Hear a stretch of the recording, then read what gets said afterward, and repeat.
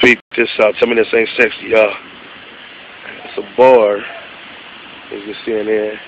But the stools, the bar is in the water, in the pool. So you can order drinks while you're already in the pool.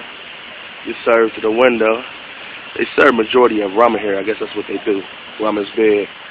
It's a little walkway on here. Other side. The other side of the pool, lawn chairs. We're going to get in this pool today. We've been in two different pools already, and we never been. We've been on the island. It's our third day on the island, and I've never even seen this pool yet. I should tell you how big this resort is. Peep that, right? And there's another hot tub over there. I'm not sure if you can see that in the background, but another hot tub. So there's hot tubs on deck everywhere.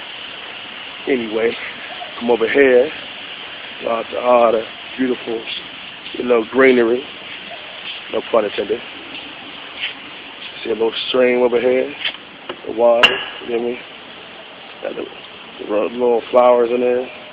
Even their uh, pollution is pretty. Crazy.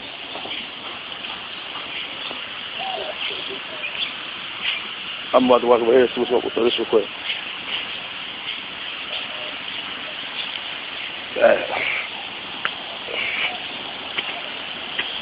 To this on camera real quick.